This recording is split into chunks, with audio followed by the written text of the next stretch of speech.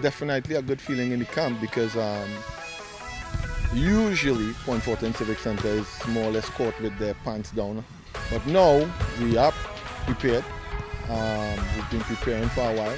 Players are very optimistic, they're very confident, and you know we would have set targets, and we're going at those targets. Well, the group is starting in a much better place. Even though we would have lost some players, we would have gained also some players and gained quite a lot of players with experience and present national players at this time. In 2019, when we started, and this particular group that we have, we have a way, way better team. The guys, likewise myself, with the work we've been putting in with the staff, we're very confident and have a lot of belief in ourselves going into this uh, Premier League and even looking forward at the Pro League.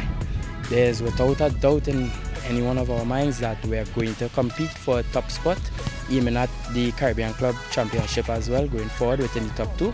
Point Fortin is going to be a very, very young, exciting team. I would have gotten the, um, the all clear from the board to refresh the team, bring in young, talented players, um, players that can move, players that can run.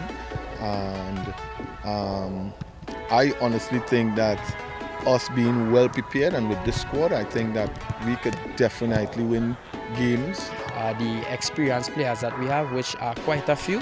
Uh, the younger guys, they look up to them and we tend to take them under our wings in training. We set the right example, we maintain a certain level and a standard here.